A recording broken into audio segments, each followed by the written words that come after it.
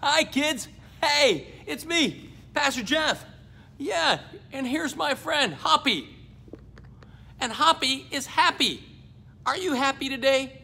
The Bible says in Philippians chapter 4 and verse 4 Rejoice in the Lord always. Again, I say rejoice. We can be happy, happy. We can rejoice. It goes like this in sign language Rejoice in the Lord always. Again, I say rejoice. Rejoice. We can be happy.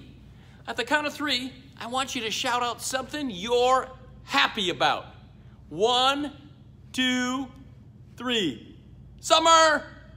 I'm happy about summer. I like summer. Even though it's a little hot, I like it. I'm happy about many things. Let's try it again.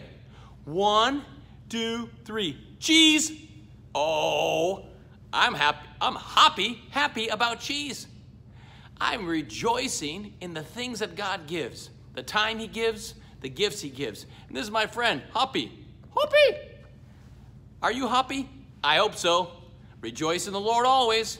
Again, I say rejoice. Now remember, be safe, be brave, and walk in faith. Let's pray. Dear God, we thank you for today. Let us be happy for the things you have given us.